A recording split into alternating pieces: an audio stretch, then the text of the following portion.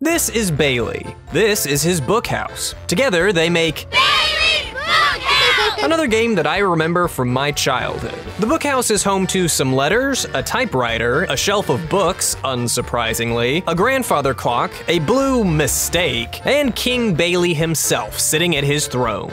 You'll notice that although we managed to find our way inside of this bookhouse, there are no doors, which also means there's no escape. Hi, I'm Bailey. Come play in my bookhouse. Well, hey, wait a minute. There's some windows over there. We can leave that way, right? Looks like we can choose between a happy, magical carnival land or a terrifying, peeping Tom clown who's peering into the house. Yeah, tough choice. It's a three-letter carnival. Yeah, more like it's a bunch of crap in the middle of a field. Even the music here is just sad.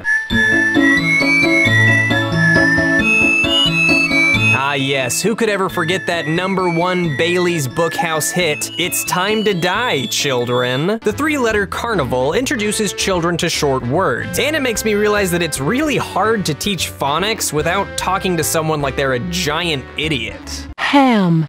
H. A. M.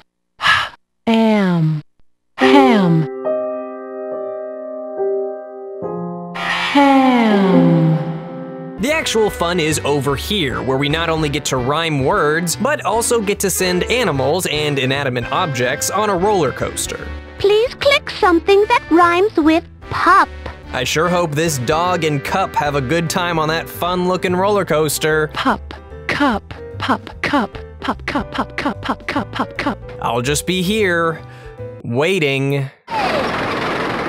All right, let's see what Creepo the Clown has for us. Here we learn about prepositions by commanding our slave dog Houdini to go in, over, behind, on, or under his doghouse. Go under the doghouse, Houdini. Then give the clown a taste of his own medicine in a game I like to call Houdini's Revenge. That's right, Creepo, it's time for you to face the groundhog.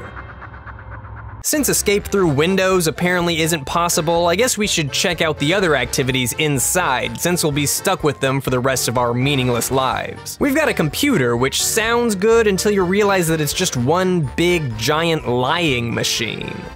R.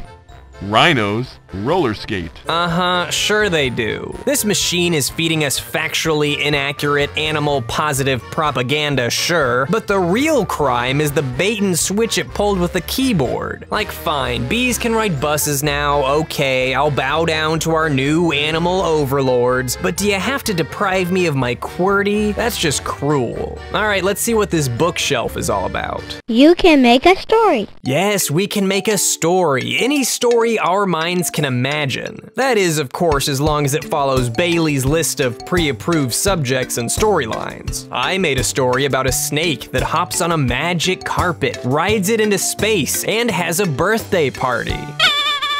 Alone.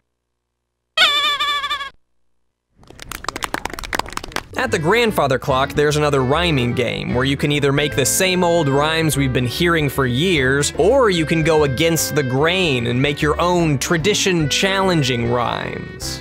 It's raining. It's pouring. The old man is roaring. Freaking edgy, dude. All right, we can't put it off any longer. Let's see what this nightmare is all about. Let's make a friend.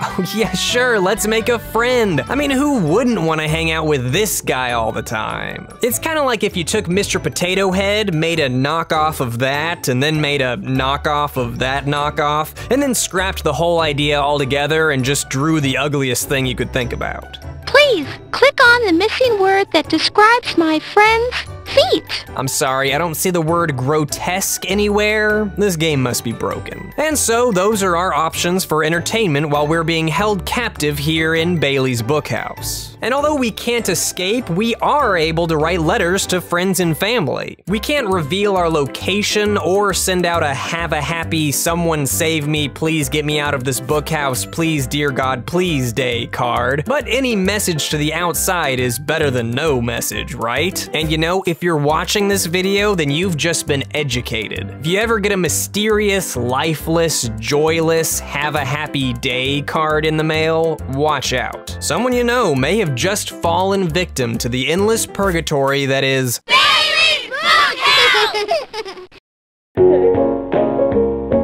Come play in my bookhouse.